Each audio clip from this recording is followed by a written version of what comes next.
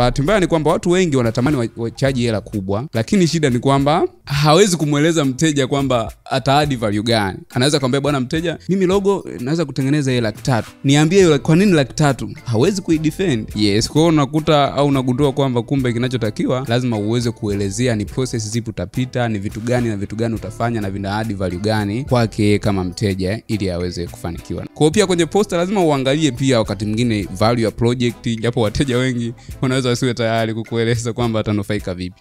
Lakini wewe unaweza ukapima kulingana kwamba unamuuliza unataka posta ya nini na nini.